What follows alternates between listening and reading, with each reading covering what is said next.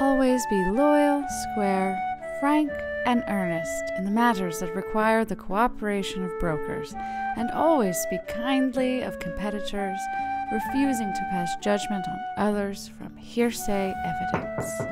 Hey Amanda, I was just. Uh, okay. What? Why are you wearing that? Well, why are you wearing that? You look like you're from the future. Not this year, 1913. Oh, this again. Uh, what are you writing? Ethics of the real estate profession.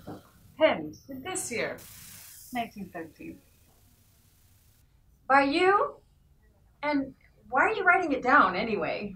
Well, you see, dear Allison, I was, uh, um, I was just copying it down for memorization purposes, dear friend. I value the importance of frequently reminding myself of its contents. Okay, that I can agree with. And so does NAR. NAR requires that all members take their code of ethics training every two years, and this year is one of those years. That means all realtors must take the training in one of many available ways. Unfortunately, copying it down by hand does not satisfy that requirement. You can go online to nar.realtor and take the online Code of Ethics training, and I'll leave that link below for you guys. Link. What is this link you speak of?